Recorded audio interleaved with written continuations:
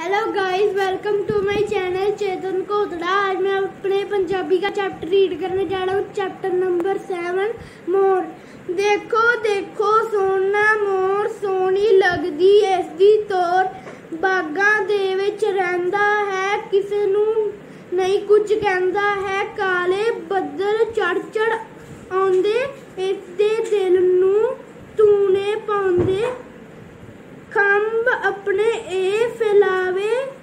ਮਸਤੀ ਦੇ ਵਿੱਚ ਪਹਿਲਾਂ ਪਾਵੇ ਰੰਗ ਬਿਰੰਗੇ ਇਸ ਦੇ ਖੰਭ ਨੀਲੇ, ਹਰੇ ਕਈ ਨੇ ਰੰਗ।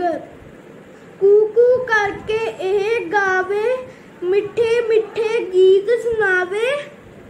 ਸਭ ਦਾ, ਸਭ ਨੂੰ ਇਹ ਮਸਤ ਬਣਾਵੇ।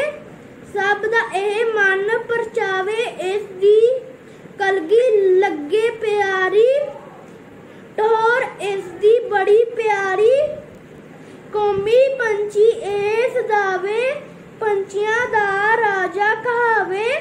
ਸੱਪ ਨੂੰ ਇਹ ਮਾਰ ਮੁਕਾਵੇ, ਜਦ ਵੀ ਇਸ ਸਹਾਵੇ ਜਾਵੇ।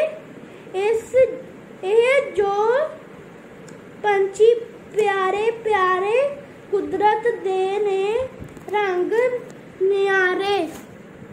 ਫਰੈਂਡਸ, ਇੱਥੇ ਸਾਡਾ ਚੈਪਟਰ ਖਤਮ ਹੁੰਦਾ ਜੇ ਤੁਹਾਨੂੰ ਮੇਰੀ ਵੀਡੀਓ ਪਸੰਦ ਆਈ, ਲਾਈਕ, ਸ਼ੇਅਰ ਤੇ ਚੈਨਲ ਨੂੰ ਸਬਸਕ੍ਰਾਈਬ ਕਰ ਦਿਓ। Have a nice day bye bye